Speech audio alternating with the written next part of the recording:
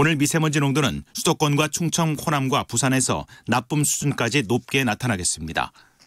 지금까지 김태규였습니다. KBS 1라디오 한시 뉴스를 마칩니다. 1시 5분입니다. KBS. KBS 1라디오 야, 아 왜? 점심시간에 뭐하냐? 자야지. 야, 그러지 말고 이거 한번 들어봐. 아, 뭔데? 지금 당장 라디오를 켜봐. 나른한 오후 깨울 시사 토크쇼. 모두가 즐길 수 있고 함께하는 시간. 유쾌하고도 신나는 시사 토크쇼. 오태훈의 시사본부. 네, KBS 라디오 오태훈의 시사본부 2부 시작합니다. 저희 시사본부 청취자 여러분들의 참여 기다리고 있습니다. 샵 9730으로 의견 보내주시면 되고요. 짧은 문자 50원, 긴 문자 100원의 정보 이용료, 어플리케이션 콩은 무료로 참여하실 수 있습니다. 촌철살인의 명쾌한 한마디부터 속 터지는 막말까지 한 주간의 말말말로 정치권 이슈를 정리하는 시간 각설하고 오늘도 자유한국당 김영남 전 의원 자리하셨습니다. 어서 오십시오. 네, 안녕하세요. 김용남입니다.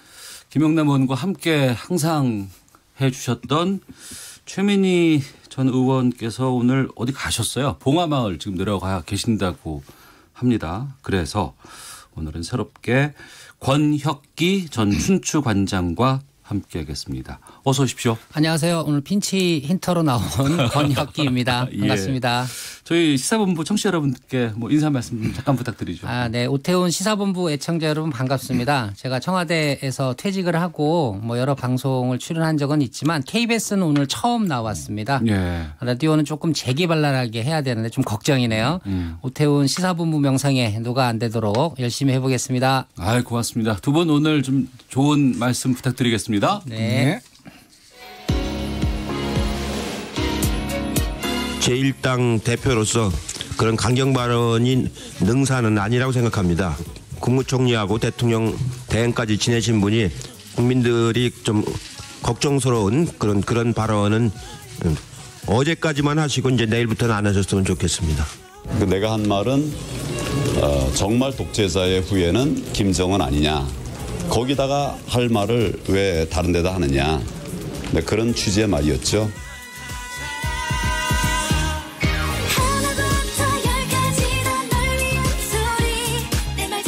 네, 지난 5.18 광주 민주화 운동 어, 기념식에서 문재인 대통령이 발언을 했고 연설을 했고 또 이후에 황교안 대표가 관련된 얘기를 했습니다. 지금 독재자 관련된 독재자의 후예 발언을 놓고 공방이 지금 가열되고 있는데 두 분께서는 어떻게 들으셨는지 좀 궁금하네요.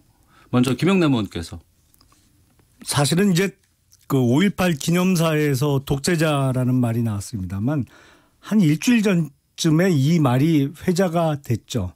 그러니까 취임 2주년 기념 KBS와의 아, 단독 대담에서 예. 질문에 이제 독재자라는 비판에 대해서 어떻게 생각하느냐라는 음. 질문이 있어서 이제 그거 때문에 그 다음날 뭐 인터넷이 뜨거웠습니다만 네. 그게 아마 마음에 좀 남으셨던 것 같아요. 음. 그래서 내가 아니고 나하고 생각이 다른 사람들이 뭐 독재자의 후에 뭐 이런 식의 표현이 나오다 보니까 예. 아 이게 공방이 주고 어, 주고받고 있습니다만 사실은 저는 그렇게 생각합니다. 이제 5.18은 국가 기념일이잖아요. 국가 기념일에 대통령의 기념사를 통해서 자신과 생각이 다른 사람으로 다른 사람들을 공격하는 건 좀 심했다. 음. 아, 그런 경우 보지도 못했고요. 그러다 보니까 이게 한참 여진이 지속되고 있습니다. 예. 권혁기 춘추관장께서 아무래도 이제 5.18에 대한 부정, 망원의 시작점과 그리고 이제 뭐 황교안 대표도 인정하셨죠. 뭐 망원이라고 인정하시고 또 국민께 사과하고 이제 징계 절차에 돌입까지 하셨는데 아직 이제 마무리를 못해서 이제 논란이 좀 남아 있는 정국 아니겠습니까? 그래서 이제 시작과 마무리를 져야 할 정치적 책무는 일단 황교안 대표와 한국당에 이제 있는 것이지요. 어, 5.18 민주화 운동은 뭐 아시다시피 에, 노태우 대통령 시절 그리고 김영삼 대통령 시절에 한국당이 주도해서 만든 법이고 그때 마무리가 된 겁니다. 네. 그리고 이명박 박근혜 대통령 시절에도 국가 공식 행사로 어, 치루어졌습니다. 이전 정부와 국가가 인정했던 그 5.18을 폄훼하는 주장에 대해서 정부를 대표의 대통령이 입장을 밝히는 것은 어떻게 보면 정부와 대통령의 책무의 하나라고 좀 보여지고요. 어찌됐든 간에 이 문제를 다시 황교안 대표가 이제 김정은 독재자 후회론으로 이제 반박을 하셨는데 저는 5.18 망원 정국을 한국당이 이제 탈피하시려면 네. 어, 다시 이렇게 색깔론적인 정치적 반박으로 나서는 것보다는 광주에서 약속을 하신 것처럼 조속히 징계를 마무리하는 것이 올바른 수순이다 이렇게 보여집니다. 예. 그 황교안 대표의 그 연설 도중에 나온 그 발언 있지 않습니까? 그 대변인 짓, 대변인 질, 뭐 이렇게 좀 이렇게 잘 어떤 단어로 들었는지에 따라서 좀 어, 확장이 될 수도 있는 여지가 있을 것 같은데 김영남 의원께서는 어떻게 들으셨어요? 그래서 본인이 이제 대변인은 얘기했지만 지시라는 단어는 안 썼다고 얘기를 하고 예. 뭐 명확히 모르겠어요. 잘 음. 들리지는 않더라고요. 그래서 예. 어, 본인이 그렇게 주장을 하니까 뭐 대변인 지시라고 얘기했다라고 그 확정지우 짓기는 어려울 것 같고요. 음. 다만 이게 정말 대변인 노릇을 했다면 그건 잘한 행동이라고는 볼 수가 없죠. 그러면 예.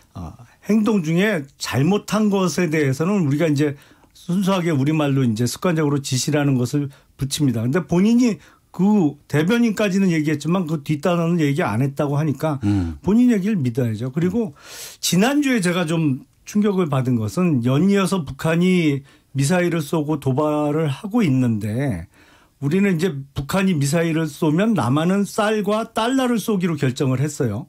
그러니까 800만 불하고 뭐 식량 지원을 하기로 어, 결정을 했는데 인도주의 차원에서 글쎄 북한이 핵과 미사일을 개발하도록 인민들을 먹여 살리고 의약품을 제공하는 걸 남한이 계속 도와주는 게 아, 과연 인도주의적인 결정인지는 대단히 의문입니다만 네. 지원을 하기로 결정했다고 하면 적어도 김정은 정권을 향해서 북한 주민을 먹여 살려야 될 일차적인 책임은 너희들한테 있는데 너희들이 계속 딴짓해서 고통을 받고 있으니까 우리가 도와는 줍니다.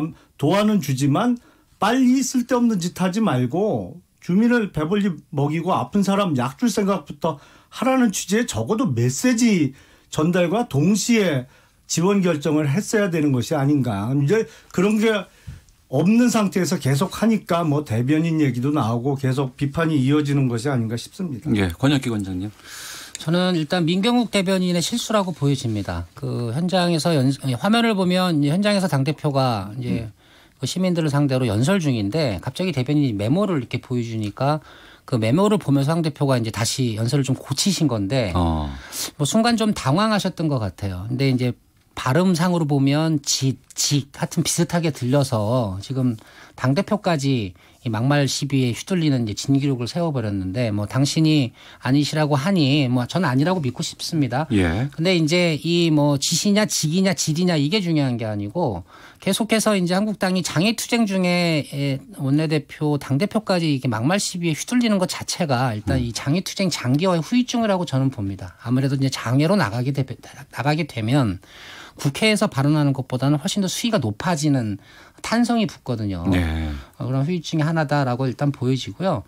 아, 뭐, 황 대표는 어, 대통령의 발언을 이제 당신과 아, 한국당을 독재자의 후예라고 지칭했다 이렇게 단정적으로 규정하셨는데 뭐 대통령이 한국당을 독재자의 후예로 지칭할 리도 없다고 보고요. 저뿐만 아니라 모든 국민들이 그렇게 보지 않을 겁니다. 당연히 그렇게 보지 않을 거라고 보고요.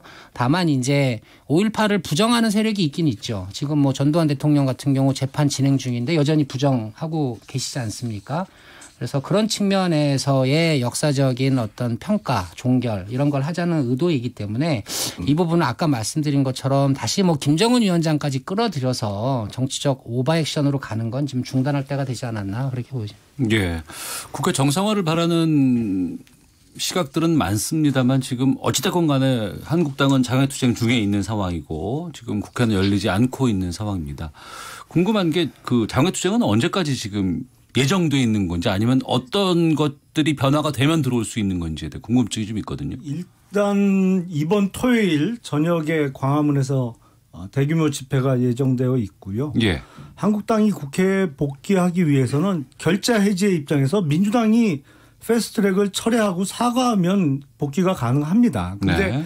선거법을 일방적으로 지금 어 날치기 통과 시도를 해놓고 음. 무조건 들어와서 이제 추경 논의하고 일하자. 아니 그거는 어떻게 그게 야당이 응할 수가 있겠어요. 그리고 지금 추경을 지금 급하다고 합니다만 사실은 나라와 국민을 생각한다면 이번 추경은 안 하는 게 맞습니다. 어. 재해 관련 추경 정도는 할 수 있습니다만 네. 지금 국채를 4조 원 가까이 발행해서 그러니까 나라 빚을 늘려서 지금 세금 퍼 부어서 경기를 살려보겠다는 이번 추경은 사실은 지금 올해 연도 국가 예산만 해도 470조가 훨씬 넘거든요. 지금 예. 그 어마어마한 예산을 퍼붓고도 경기 살아났어요. 계속 깔아앉고 있잖아요. 여기다가 6조 정도 더 붓는다고 해서 살아날 경기가 아니에요. 정책을 수정하지 않는 한. 그러니까 음. 추경이 지금 정권에서는 그게 마치 급한 것처럼 선전을 해대고 있습니다만 네.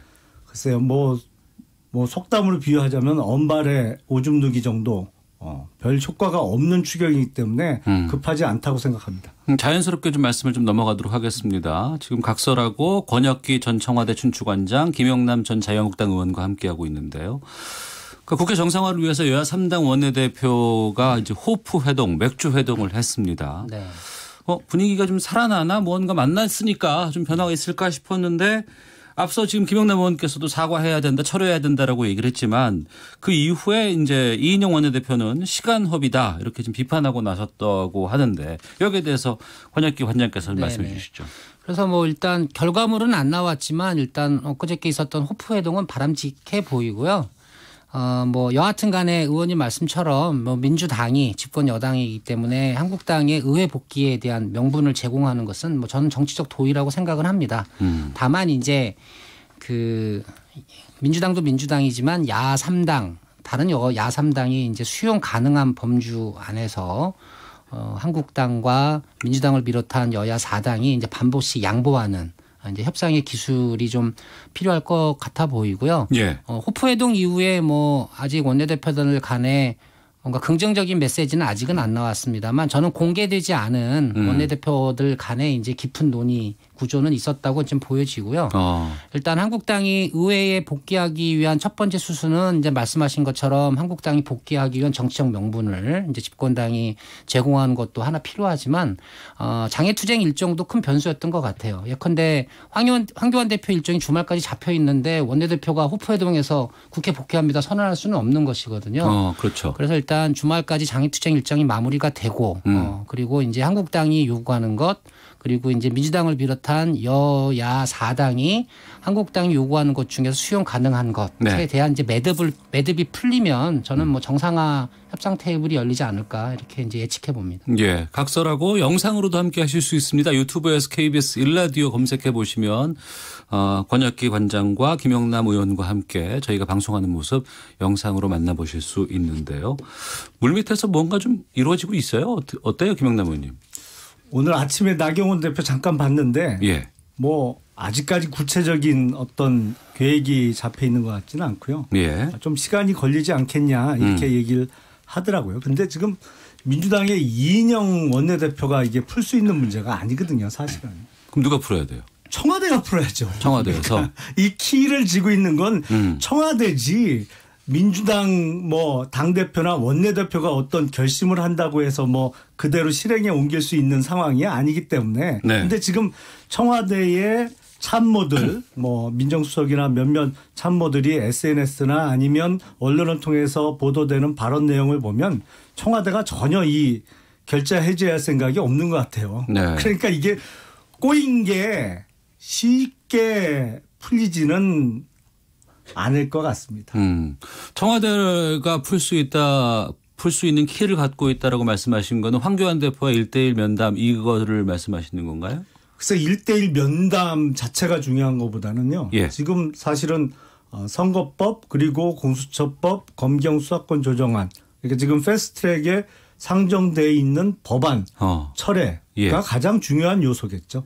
이거를 청와대가 그래서 받을 수 일단, 있을까요? 어떻게 보세요? 한국당 예. 지도부는 뭐 대통령이 풀어라고 하는데 좀 모호한 그 주문인 것 같아요. 제가 볼 때는 네. 일대일 영수회담이냐 이제 그 전체 5당 대표가 같이 하는 회동하는 영수회담에 대한 선택은 음. 뭐 대통령이 할 수 있지만 예. 일단 한국당이 국회를 어, 복귀하기 위한 명분 중에 하나가 이제 패스트트랙 무효화 또는 이제 합의 처리 전제 요구일 텐데요. 음. 아시다시피 작년 말까지 민주당도 연동형 비례대표제를 저희도 반대했었습니다. 왜 반대했냐면 뭐 의석수 감소도 이제 지역구 의석수 감소도 불가피한 데다가 제일 중요한 이유는 제1야당인 한국당이 반대하는 시점에서 이게 과연 가능하겠느냐라는 로직으로 이제 반대를 했었고요.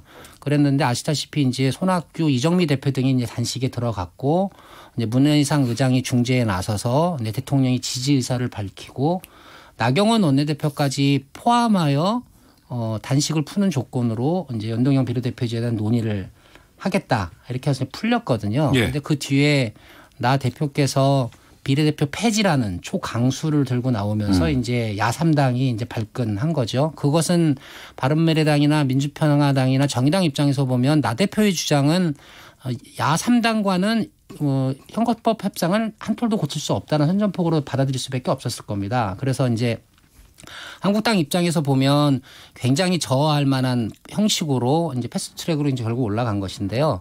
이제 그래서 이제 장애투쟁 나가까지 나가면서 이제 강대강 대치 국면이 됐습니다. 그래서 이 결국은 이 연동형 비례대표제, 그러니까 한국당이 주장하는 것처럼 한국당의 동의 없이 합의 없이 선거법을 일, 일- 그러니까 일방적으로 처리할 수 있느냐. 저도 거기엔 동의합니다. 선거법만큼은 여야가 만장일치로 이제 처리를 해야 되는데 그러려면 한국당도 일단은 제3당의 정치적 존재감을 인정하는 스탠스에서 이제 비례대표 폐지 같은 초강수안은 좀 거두어들이고 음. 한국당 의원님들이 불안해하지 않을 수정안을 제시하고요. 네. 그리고 야 3당 민주당도 한국당과 선거법만큼은 어, 만장일치 합의를 전제로 통과를 시키겠다. 뭐 패스트 트랙에 선거법만큼은 강제로 태우지 않겠다를 약속을 한다면 저는 협상 테이블이 열릴 수 있지 않겠는가 그렇게 보여집니다. 예. 자유한국당과 지금 민주당 간의 간격은 상당히 지금 커 보입니다. 이런 그렇죠. 상황에서 음. 중재자로 나선 신임 바른미래당의 오신환 원내대표는 어뭐 자유한국당 장애로 당한 건 잘못됐다라고 비판도 하면서 또 한편으로는 앞서 말씀하신 것처럼 청와대가 좀 나서서 풀어라라는 이런 절충안 같은 것들을 제시하고 있거든요. 그런 절충안이 중간에서 나오면 바른미래당이라든가 뭐 민주평화당이라든가 이런 제3당 쪽에서 나오면 받을 용의는 있으세요? 글쎄, 그러니까 지금 오신환 원내대표 입장이 참 묘하죠. 왜냐하면 네. 패스트트랙 처리 과정에서 본인은 사실상 그 공수처법 관련해서 반대 입장을 표명했다가 강제 사보임을 당했잖아요. 그랬죠. 예. 그 핵심에 있는 그 핵심에 있는 의원이죠. 사람이죠. 그리고 어, 뭐 야삼당이라고 계속 말씀을 하십니다만 저는 뭐 그 전부터 범여권의 3당 중에 바른미래당이 가장 입장이 애매하거든요. 그러니까 예, 예. 당의 입장도 애매하고 그러다 보니까 오신환 신임 원내대표의 발언도 애매해요. 네. 어떻게 보면 뭐 속칭 모두까기를 하면서도 어 한국당 쪽에 약간 기운 게 아니냐 뭐 이런 식의 발언이 이어지고 있는데 글쎄 여기서 오신환 원내대표가 중재자로서의 역할을 할 만한 어떤 영역은 그렇게 많아 보이지 않습니다. 어. 결국에 아, 이 얽힌 실타래를 푸는 건 아, 문재인 대통령의 결단. 사실은 문재인 대통령이 그 정의당의 심상정 의원을 이렇게 적극 응원해 주면서부터 이게 막 여기까지 왔거든요. 그래서 예. 어, 결자 해지 하시 하셔야 되지 않나 싶습니다. 음, 알겠습니다. 바른미래당 가장 요즘 좀 뜨겁고 핫한 그 당이 아닌가 네. 싶은데 바른미래당 어떻게 전망하세요? 권혁기 원장께서 보시기에는. 이게 제일 어렵더라고요. 당 내에서도 잘 모르더라고요. 타당의 내분이기도 하고 예. 아, 참, 참, 아, 이제 레드라인이 이제 무너진 느낌입니다. 일단은. 음. 예. 뭐 다행히 오늘 그 이제 하태경 최고위원이 사과는 했던데 아. 어르신들 폄하 발언까지 꺼내면서 이제 손학규 대표를 향한 발언이었죠. 예. 공격했었죠. 예. 아, 이제 뭐 근원적인 배경은 아무래도 이제 총선을 앞두고 있다는 점, 아, 그리고 이제 총선을 앞두고 있다는 것은 이제 당권, 특히 이제 공천권의 문제. 이게 이제 뭐 한자락 깔려 있는 배경이 안 안 될 수가 없을 것이고요. 아무래도 이제 사태파 입장에서 보면 이제 손학규 대표 카드로는 총선 돌파가 어렵다는 판단인 것 같아요. 네. 그리고 양쪽 진영이 다 의심하는 것 같습니다. 정치적 의심을 하는 것 같아요. 그러니까 어, 당 대표 사퇴파는 손학규 대표 체제가 이제 민주평화당과 연대를 해서 그렇게 될 경우 유승민 의원 입장에서 보면 호남당 이미지가 생겨나는 이제 부정적인 측면이 있다고 보여지는 거고 햇볕 정책을 계승해야 한다는 정책성 논란 또 이제 비추어지니까 손학규 대표 체제가 이제 민평당하고 연대를 추구하는 거 아니냐 이런 의심을 하고 손학규 대표 체제는 손학규 대표 쪽은 어, 유승민 팀이 한국당과 통합을 추구하는 것이 아니냐 네. 이런 의심 정치적 의심 속에서 이제 막말 공방까지 이어지는 아주 뭐 진화탕 싸움으로 이제 치러지고 있는데요. 양 진영 다 공집합은 하나 있습니다. 뭐 유승민 대표도 절차상 문제를 삼았지만 연동형 비례대표제 자체를 반대하고 있지는 않아요. 음. 오신환 원내대표도 마찬가지입니다. 예. 결국은 바른미래당의 어, 현 지도부가 됐던 또는 유승민 그룹이 됐던 일단 독자 생존론으로 이번 총선을 맞이하겠다라는 건 기본 입장인 것 같습니다. 거기에 어, 이제 보수 쪽의 연대 또는 이제 호남 의원들과의 연대를 이제 시너지로 어, 정계 개편의 한 구도로 삼으려고는 하지만 이게 잘 진행될지는 물론 좀 지켜봐야 될 것 같고요. 예. 결국은 손학규 대표가 대표 체제를 유지하기가 굉장히 어려워 보이는 전국인데 이제 최입의 정책위 의장 메시지에서 이제 명분이 하나 좀 보였더라고요. 안철수 전 의원의 복귀 시까지 당을 이제 중도 성향으로 안착화시키는 게 손 대표의 임무다. 어. 그 얘기인 즉슨 안철수 전 의원이 국내로 복귀를 해서 이제 유승민 의원과 당을 직접 이렇게 지휘하겠다라고 나서면 그때는 손 대표가 이제 퇴직 퇴사할 명분이 있다 뭐 이런 사퇴할 명분이 있다 이런 입장인 것 같아서 거기까지 진행이 될지 좀 지켜봐야 될 것 같습니다. 예. 바른미래당을 외부에서 바라보는 분들께서는 손학규 네. 대표를 퇴진하라고 이제 요구하는 이유가 이제 손학규 대표가 이제 나오면 빠지면 자유한국당과의 이제 통합이라든가 연대 네. 이런 방향으로 갈 수 있지 않을까 라고 이제 분석하는 분들이 많은데 자유한국당 쪽에서는 그 분석에 대해서는 어떤 판단 갖고 계세요? 간단히 말씀 부탁드리겠습니다. 일단 네. 바른미래당과 자유한국당의 뭐 합당이 됐던 그 뭐 일부가 탈당해서 복당을 한지 여부는 가장 중요한 변수는 지금 패스트트랙에 상정된 선거법의 처리 여부입니다. 음. 만약에 이 소위 반연동형 비례대표제가 어, 포함되어 있는 이 선거법이 정말 본회의장에서 통과가 된다. 예. 그러면 사실은 바른미래당 내지는 바른미래당을 탈당하는 유승민계 의원들이 한국당에 돌아올 실익이 없어요. 음. 왜냐하면 비례대표가 워낙 많이 늘어나고 예. 자유한국당은 지역에서 얻는 의석 때문에 비례대표를 거의 못 가져가는 그 의석 구조가 되기 때문에 내년 총선은 어차피 진영 싸움입니다. 뭐 문재인 정권 2년을 지나면서 진영 간의 갈등이 더 커졌어요. 그래서 예. 이 선거법이 정말 통과가 된다는 전제 하에서는 오히려 유승민 의원을 중심으로 한 바른정당의 일부 의원들이 네.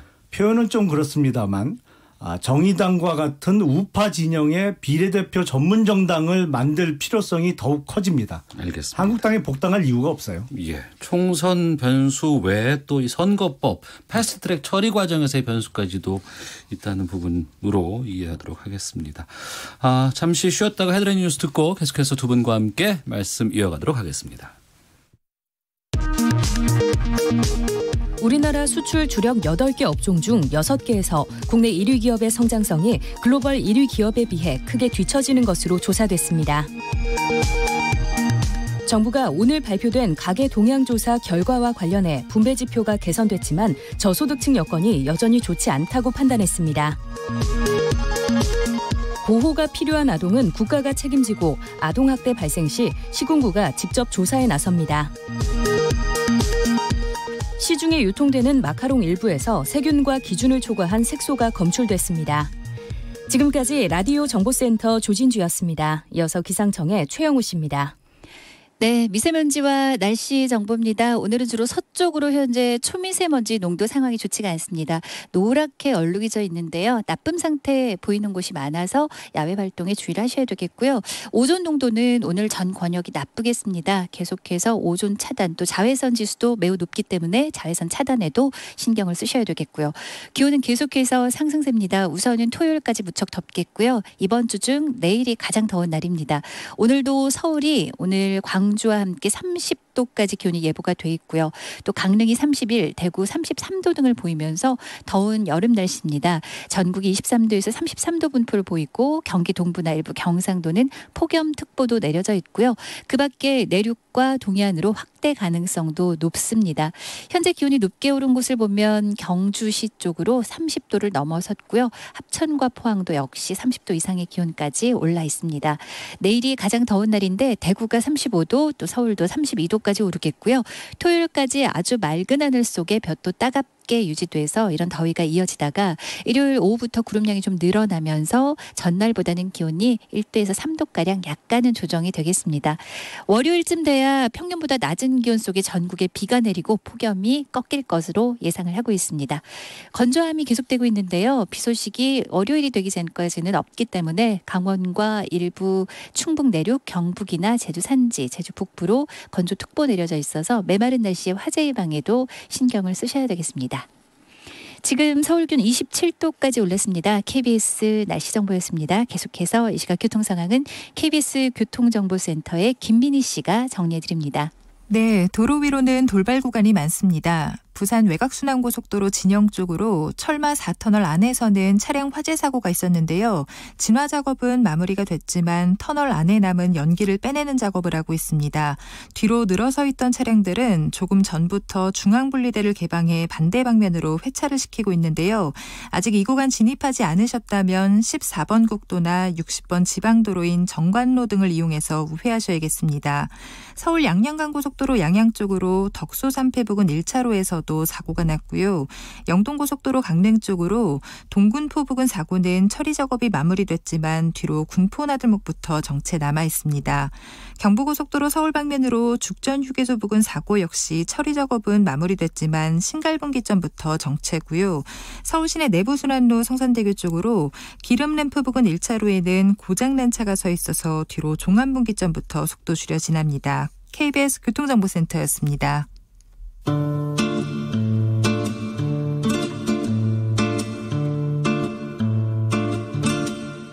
오태훈의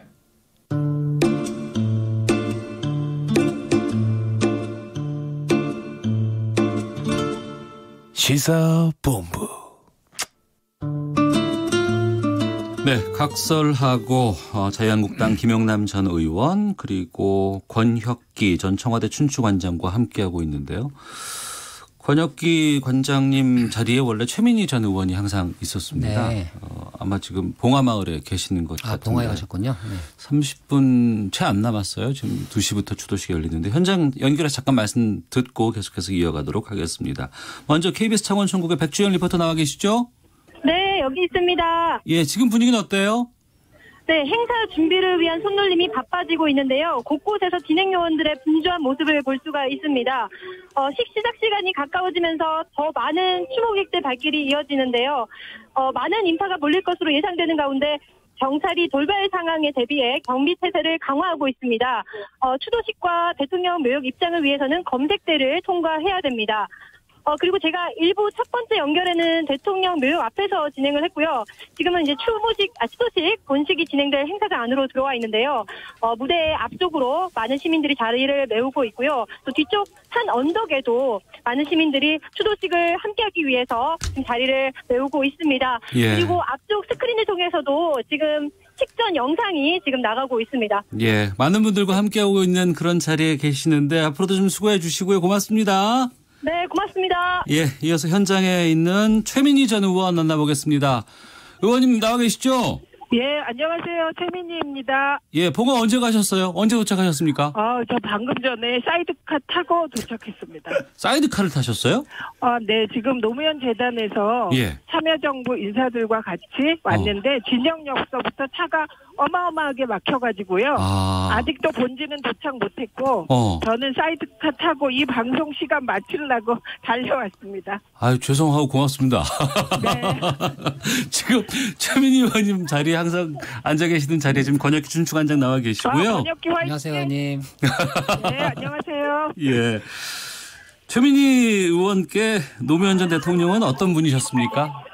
아, 저는 언론 운동의 동지 너무나 고마운 분, 음. 안티조선 운동을 유일하게 정치인 정치인 중에 같이 해주셨던 분, 네. 제 마음속 대통령 그렇습니다. 음, 그러시군요. 오늘 그 다 일정 마치면 언제쯤 올라오세요?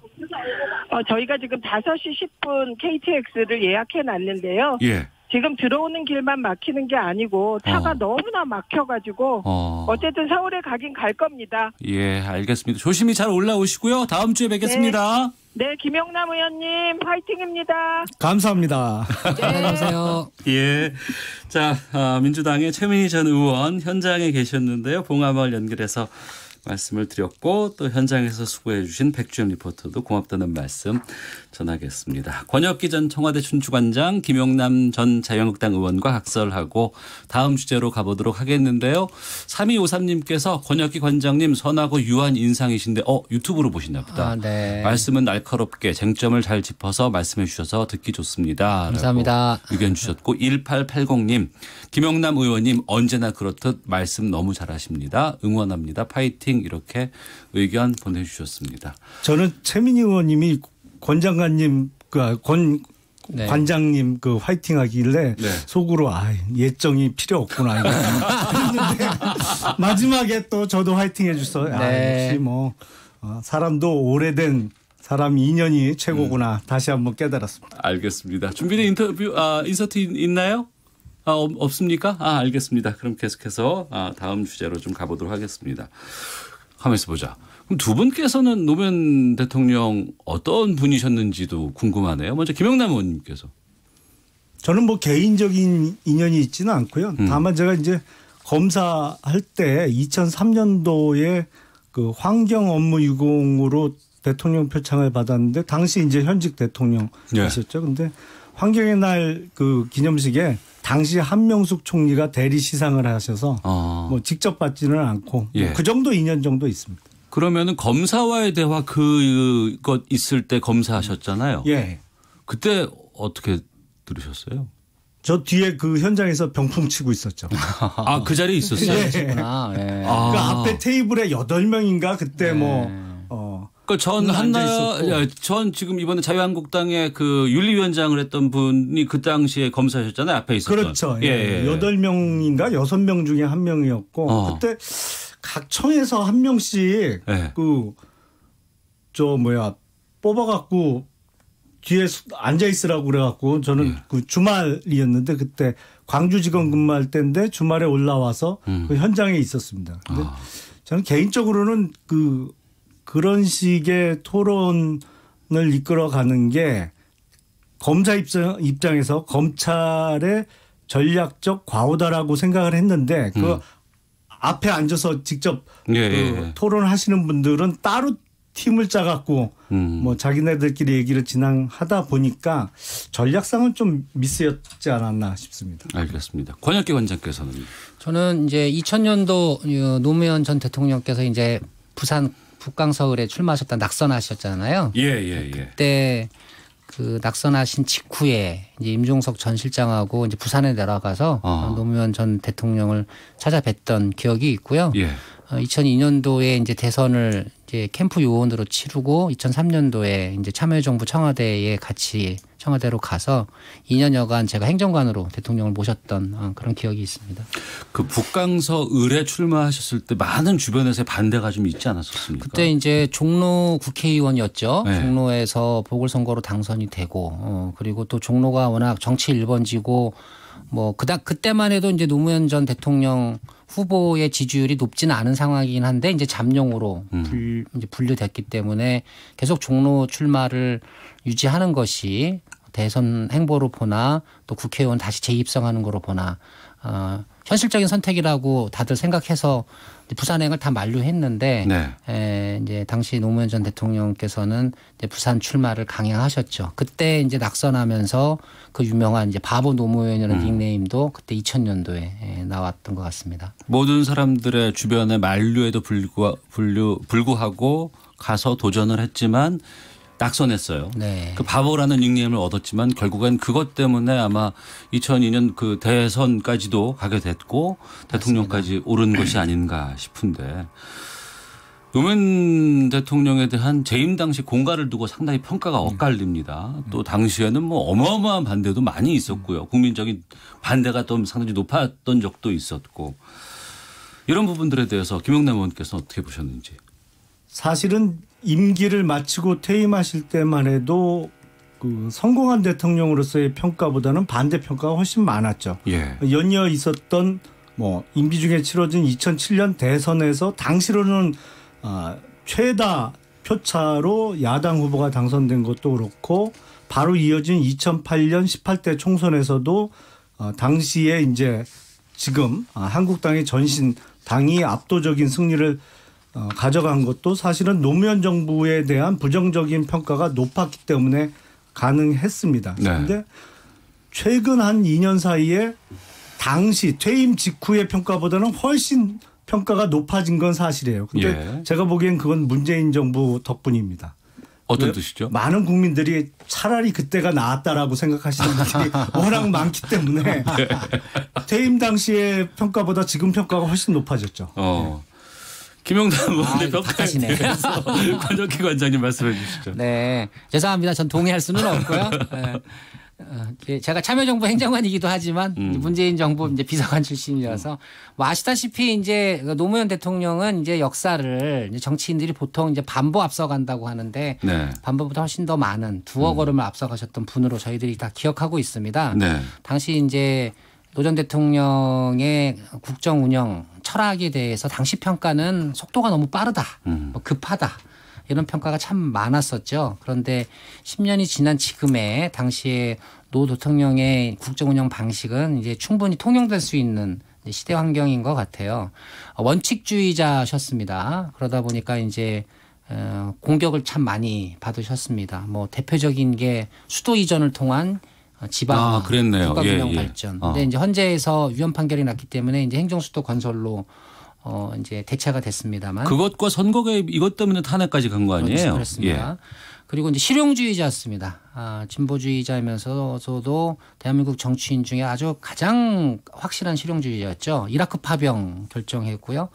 어, 그 보수 정치인들도 쉽게 에, 성사시키지 못했던 한무의 FTA. 그러니까 진보 진영의 결사적인 반대에도 무릅쓰고 어, 통상 국가인 대한민국이 앞으로 먹고 살기 위해서는 아, 미국과의 FTA는 불가피하다라고 해서 한미 FTA를 어, 성사를 시켜냈습니다. 그래서 어, 노무현 대통령의 이미지 하면 그 가장 떠오르는 것이 그래서 이제 원칙주의자, 분권주의자 그리고 어, 합리성이 있다고 한다면 보수의 아젠다라도 반드시 나라를 위해서 어, 해야 한다는 실용주의자. 아, 이게 가장 인상 깊게 남는 것 같습니다. 예.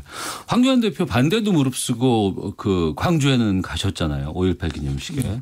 이번에는 뭐 가시지 않을까 싶었는데 장외투쟁 일정을 이유로 이제 참석을 안 하셨다고 합니다. 좀 다른 행보가 아닌가 싶은데.